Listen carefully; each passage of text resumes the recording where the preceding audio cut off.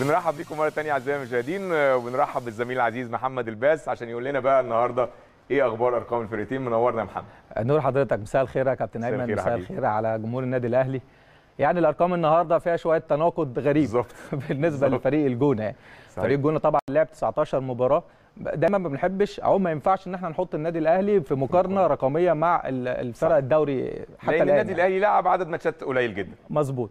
فبالتالي لو نتكلم هنتكلم على خسارة النقاط بمعدل المباريات مباريات. يعني لو. عايز أتكلم على الجونة الجونة خسر 29 نقطة في ال 19 19 مباراة اللي لعبها صحيح. فمعدل خسارته للنقاط عالي. الأهلي طبعا خسر 12 نقطة في ال 12 مباراة اللي لعبوا وده بيورينا بيدينا كده زي انديكيتور عن فريق جونة. طريقة لعبه أرقام بتقول عليه النهارده بنحلل نقاط القوة والضعف عند الجونه أيوه من بس خلي أهم بالك لو بصيت للمدير الفني لفريق الجونة هتعرف استراتيجية فريق الجونه بالظبط. الطريقة الدفاعية المعروفة المتعارف عليها آه، ولكن ومع ذلك من أكتر الفرق اللي بتستقبل أهداف. مظبوط. وأكتر الفرق اللي بتتضرب من العمق. مظبوط. وهنتكلم بالأرقام كلها ونعرضها حتى في نهاية الفقرة حتى بالحالات. بنتكلم حتى الجونة الجونة بشكل عام عنده مشاكل كبيرة جدا. يعني لازم برضو نركز عليها ومن خلال المشاكل دي والأرقام بت- بتشير لذلك. امم يعني- يعني الأرقام فعلا. تعال نبص على الأرقام مع بعض يا كابتن أيمن. 19 مباراة 12 مباراة للأهلي. طبعا هم فازوا في سبعة وخسروا في خمس مباريات وتعادلوا في سبع آه، مباريات. الأهلي طبعا فوز سبعة اثنين خسارة وثلاث تعادلات. الترتيب وده برضه الرقم اللي بنتكلم عليه في التناقض في الأرقام. صحيح. يعني أنت مرتب رقم 8 في الدوري 28 نقطة طبعا هو خسر 29 نقطة زي ما قلنا. الأهلي طبعا ترتيبه 11 طبعا طبعا معد يعني عدد المباريات أقل 12 مباراة ولكن الأهلي أحرز 24 نقطة حتى الآن. ده الشكل العام للنادي الأهلي. تعال نبص على الناحية الهجومية عند الأهلي أو عند الجونة. الناحية بقى الهجومية عند الجونة 24 هدف في 19 19 مباراة. وده معدل تهديفي قد يبدو كويس. ليه؟ لأن هو بيأتي في المرتبة الثالثه لو إحنا هنصنف الفرق ما آه. بين الأقوى خط هجوم ويعني و level 2 و level 3 الجونة بتأتي رقم ثلاثة دلوقتي من الناحية الهجومية في إحراز الأهداف. بس عايز أقول ال 24 هدف هم عندهم ست أهداف ضربات جزاء. من صحيح. من إجمالي سبع ضربات جزاء جات لهم. النادي الأهلي 26 هدف في ال 12 مباراة وده أعلى معدل تهديفي زي ما قلنا حتى ال- المباراة السابقة الأهلي أعلى معدل تهديفي بالنسبة لعدد بالنسبة المباريات. لعدد المباريات. يعني يفوق الهدفين بالمباراة إما الجونة طبعا هدف وهدف أو قد يأتي هدف وأقل من هدف ونص في المباراة. الإكس جي عند النادي الجونة 44 هدف قد يصل 44 هدف وده ليه؟ لأن عندهم نسبة assist وصناعة أهداف تمريرات مفتاحية أيضا عالية. بالنسبة للنادي الأهلي قد يصل ل 32 هدف.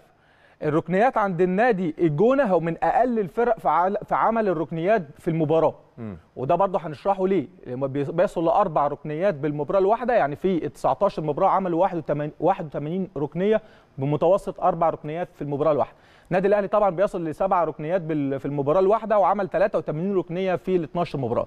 ال assist أهو 15 assist عند الجون. من واقع ال 24 هدف اللي هم أحرزوه في 15 assist الناحية الثانية عند الأهلي 21 assist التمريرات المفتاحية عند الجونه عالية بيصلوا بتمريرات مفتاحية ولكن قد لا تشكل خطورة كبيرة ولكن هو بيعكس الرقم الاكس جي عندهم إن هم قد يصلوا ل 44 هدف. قد هذا الرقم ده بيقول لنا إن الفريق جونة ممكن يخطف في أي أيوة. وقت. بيحرز أهداف بيصل. آه الناحية الثانية طبعا ماشي تحويل الفرص لأهداف ده من كمية الفرص والتسديدات الجونة عندها معدل لتحويل الفرص لأهداف يعني معدل كويس. المعدل ده معدل جيد 12% النادي الأهلي 14% كنا 16% على فكرة المباراة السابقة ولكن عدد الفرص الكتيرة وإحنا أحرزنا هدفين فقط فبالتالي أثر على الإجمالي بتاع المباريات وصلنا ل 14% تحويل الفرص لأهداف. التسديدات بالمباراة النادي الجونة من أقل الفرق اللي بتسدد على on target يعني هو 14 sorry 11 إجمالي متوسطاتهم بالتسديدات في المباراة بيصل ل 11 مم. منهم أربعة on target الأربعة دول قد يشكلوا خطورة ب- فعلا وبيصلوا لدقة 40% النادي الأهلي بيصل طبعا من أكتر الفرق اللي بتسدد على في إجمالي المباراة يعني طوال المباراة هو النادي الأهلي. آه، تاني أو ثالث أقوى فريق في التسديدات على المرمى. بيصل ل 15 17 تسديدة. ولكن بنفتقد التركيز على الثلاث خشبات والدقة بتاعتهم عشان نحرز أهداف أكتر. يعني خمسة بس on target بنسبة دقة 36% هنا بقى نقف عند الأهداف من داخل منطقة الجزاء. يعني دايما أهداف منطقة الج... أو أو لمس الكرة داخل منطقة الجزاء بتعكس قوة المنافس فريق الجونه من إجمالي ال 24 هدف اللي قلنا عليهم يا كابتن أيمن أحرز 22 هدف من داخل منطقه داخل منطقة الجزاء. وقلنا في ست أهداف آه،. ضربات جزاء فبالتالي هم عندهم خطورة لو هم يكون معظم أهدافهم من داخل منطقة الجزاء. الناحية الثانية الاهلي ده من واقع 122 تسديدة أيوة. من داخل منطقة الجزاء. النادي الأهلي من واقع 119 تسديدة من داخل منطقة الجزاء أحرز 24 هدف. إحنا قلنا اجمالي النادي الاهلي 26 هدف ففي هدفين كده من خارج منطقة الجزاء من 60 أو 65 تسديدة من خارج منطقة الجزاء يعني 65 تسديدة من خارج منطقة الجزاء تجيب منهم هدفين ده برضو رقم بيقول لنا إحنا محتاجين نزود التسديدات من خارج المرمى. و... سوري من خارج منطقة منطقة الجزاء الجزاء. والدقة آه، بتاعتها عرضيات بالمباراة بيصلوا طبعا ل آه، يعني إحنا بنتكلم إجمالي. أعتقد 14 آه، عرضية في آه، في المباراة الواحدة للنادي الجونة. الأهلي بيصل ل 22 و25 عرضية. ولكن الدقة هنا النادي الجونة عندهم مشكلة في العرضيات. الدقة مش أحسن حاجة 22% فدايما اعتمادهم على الكرات الطويلة أكتر من العرض الكرات الكروسات. فبالتالي ما بتشكلش خطورة بشكل كبير ولا حتى التسديدات من خارج المرمى.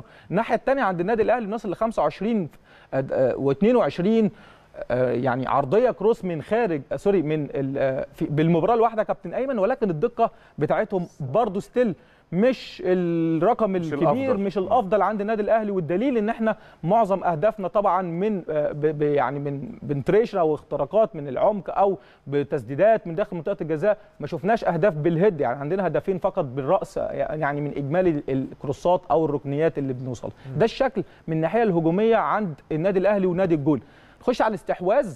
آه بقى. أنا عايز أقول لحضرتك صح. إن أقل فريق في الاستحواذ هو الجونة وعايز أقول بقى الرقم اللي هو 201 ده ده التمريرات الصحيحة في المباراة.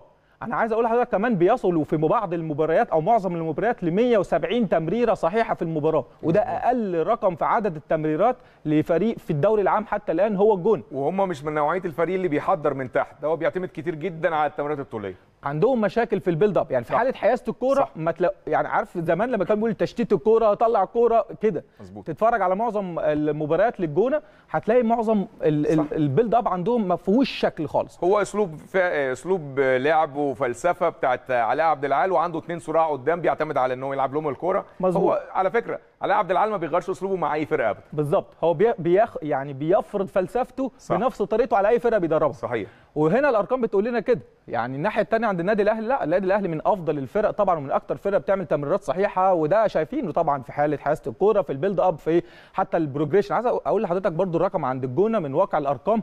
التدرج عندهم فيه مشكلة كبيرة جدا. ما تلاقيش حتى باصات بتكسر بقى أي خطوط. مظبوط. يعني فبالتالي ما ما في ثلاث نقاط قلناهم دلوقتي ما بتشكلش خطورة كبيرة عند الجون. صحيح. وده ما لا يقلل من الجونه يعني أي ف... أي فريق بيلعب قدام الأهلي بقى بتلاقي حاجة تانية خالص. فيعني عشان نشير بس للنقطة دي.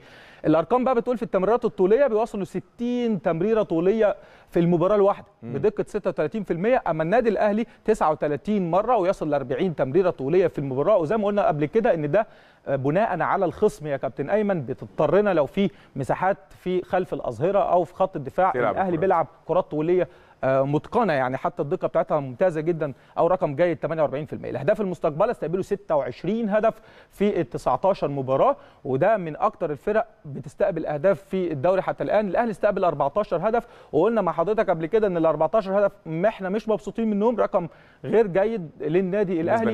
آه طبعا ولكن في ال 12 مباراة ولكن هذا الرقم يا كابتن ايمن بيقول لنا إن الأهلي قرب حتى يعني مقارب من الأفضل خط دفاع مع الفرق يعني الثانية يعني الفرقه الثانية استقبلت برضه 14 16 هم دول أقوى خط دفاع حتى الآن. الاهداف المستقبله المتوقعه كان ممكن يصل أو يدخل في مرمى الجونة 49 هدف من واقع بقى كمية التسديدات الغزيره أنا لو نتكلم على آخر خمس مباريات للجونة آخر خمس مباريات استقبل 10 10 أهداف. أجوال. مظبوط. في آخر خمس مباريات وأحرز كام؟ أحرز أربع أهداف. يعني نسبة التهديف عندهم يعني قليلة جدا. شباك نظيفة أهوت أربعة وهم من أقل الفرق خسارة الكورة بيخسروا الكورة بشكل كبير جدا تحت ضغط. وأكتر فريق بيخسر الكورة في الالتحامات الهوائية بالمناسبة. آه، الناحية الثانية النادي الأهلي طبعا ثلاثة من أفضل الفرق حتى الآن الاعتراضات. شوف رقم 23 دوت في إبعاد الكرة عند النادي الجو- الجونة. بيقول لك دايما فريق ما بيعملش build up بي- بيخرج الكورة بشكل كبير جدا. النادي الأهلي 11 والنادي الأهلي من أفضل الفرق طبعا في إبعاد الكورة. يعني الرقم ده مش معناها إن 23 الجونة أفضل لا ده كده الجونة يعني من أسوأ الأرقام عندنا يعني ده رقم ضعيف جدا. الناحية الثانية استعادة الكره إحنا ال ball recovery وإحنا قلنا قبل كده الأهلي ال counter pressing من أفضل الأندية اللي بتعمل ضغط العالي واسترجاع الكره. عندنا بعض الحالات بتشير آه، وتورينا الجونة نقاط ضعفها اللي بتعكس الأرقام اللي قلناها. دايما فريق بيتضرب في العمق بشكل كبير جدا. يعني ده اللي أعتقد آه دي مباراة زد يا كابتن أيمن.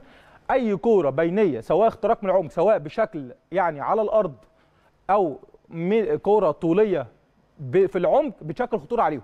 ليه؟ لأن ما فيش دايما communication ما بين حارس المرمى والاثنين سنتر باكات ودايما ال back الشمال عندهم رقم ثلاثة كامل أبو الفتوح عنده مشكلة كبيرة جدا في التغطية. فبالتالي أي كره تتضرب في تتلعب في العمق عندهم بتشكل خطورة جدا ودي جه منها هدف. نفس الكلام ده copy paste نكمل هنشوف في مباراة آه، البيراميدز حتى. آه دي مثلا كره ثانية دي مرمى في زد عبد الرحمن. البنوبي. آه ده رقم ده هدف الثاني أعتقد أو الثالث لزد. نفس الكلام الكرة اتلعبت على الأرض يا كابتن أيمن. خلاص جون. يعني أي لعب على الأرض واختراقات من العمق جون. هتلاقي زيادة عددية عند الجونه ولكن طبعا في سوء في تنظيم دفاعي في غير جيد. التنظيم صحيح. الدفاعي عندهم. آه نكمل برضو بعض الأمثلة. إحنا لسه شايفين نفس الشكل ده كابتن أيمن في مباراة زد. ده بقى مباراة بيراميدز. شفت الكوره بتتلعب إزاي؟ في العمق كرة طولية بتنزل اللعي- اللعيبة السيرد باكات عندهم في مشكلة كبيرة جدا في قطع الكره وحتى التركيز فيها إن هو يخرجها. الكره نزلت على الأرض لاعب بيراميدز ده طبعا لف بالمدافع وأصبح في مواجهة المرمى وأحرز جول. نفس الكلام هنا برضو اختراق من العمق. فالكره تتلعب في العمق خلاص يعني مع إن إن هنا ما فيش زيادة عددية للبيراميدز يعني هتلاقي ورا أيوة. الثلاثه ولكن التغطية نفس الكرة اتلعبت عرضية على الأرض نفس الكلام لو هنكمل هتلاقي بص يا كابتن عدى من الاثنين بسهولة جدا. على فكرة الكرة كانت سهلة جدا إن هم يخرجوها ولكن أصبح في مواجهة المرمى. فده نقاط بتقول لنا ما نلعبش كورسات كتير. نلعب على الاختراق من العمق. يعني هنا برضو منظر شكل تاني للاتحاد بي بيثبت أيوة. ده مباراة الاتحاد بتثبت كده. الجونة بس خلاص يعني هنا ده بشكل عام أكتر فريق أكتر فريق سريعا آه، بيسبب أخطاء أو فاولات في المباراة. وصل ل 15 خطأ في المباراة. وأكتر فريق في تشتيت الكره والاعتراضات. وزي ما قلنا عشان عنده مشاكل دايما في حاله في الحالة الدفاعية وعدم تنظيم دفاعي جيد بهذا الشكل اللي إحنا شفناه. صحيح. ده بشكل عام عن الأرقام وتحليل ال- الفريقين يا كابتن. شكرا جزيلا نباز وإن شاء الله كل التوفيق للنادي الأهلي النهارده تحقيق الفوز. بإذن الله شكرا. طبعا الباس كلمنا على ال- الأرقام آه، يمكن كمان من من ضمن الأرقام لما نيجي نبص للأرقام هنلاقي الأرقام دي تقريبا مشابهة لأسلوب لعب علاء عبد العال مع جميع الفرق اللي هو اشتغل معاها السنتين اللي فاتوا. مع ايسترن كامباني أو الشرقيه الدخان بنفس الأسلوب وهتلاقي الأرقام قريبة جدا. آه، مع الداخلية بنفس الأسلوب. وهو ناجح الأسلوب ده ناجح. يعني هو نجح مع الفرق كلها. يمكن أنا سمعت له آه، كلام بالنسبة له إن هو هل أنت راضي عن اللي وصل له الفريق السنة دي؟ وهل أنت كنت بتطمع في كده؟ هو في المركز الثامن دلوقتي. قال لك أنا كنت متفق مع إدارة النادي إن إحنا نبقى موجودين في في الدوري. وما زلت لحد دلوقتي ده الأسلوب اللي أنا متبعه علشان نفضل قاعدين في الدوري. ما أعرفش إيه اللي هيحصل قدام ممكن أطمع ممكن أبص للمركز أعلى ممكن بس هو في مركز جيد حتى الآن.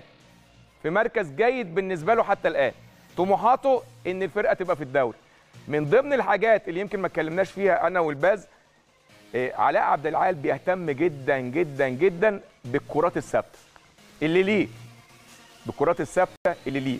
وحقق فيها الفوز في بعض المباريات وبيأديها كويس. وعنده لعيبة بتلعب بدماغها كويس. وعنده لعيبة بتعمل كروسات كويس. عنده اتنين فراوده صراحة عشان كده هو ما بي ما بي ما بيلعبش من تحت ما بيحضرش الهجمة من تحت. عنده اتنين أفارقة صراع جدا قدام.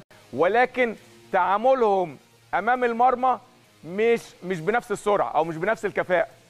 إنما أسلوب لعبه عمره ما بيتغير بيخنق لك اللعب لحد ما يزهقك. المهم هطول عليكم. هنروح نشوف بعض الكواليس ونرجع بعد الفاصل نشوف لقاء مع الكابتن ناصر عباس والحديث عن طاقم تحكيم مباراة اليوم. انتظرونا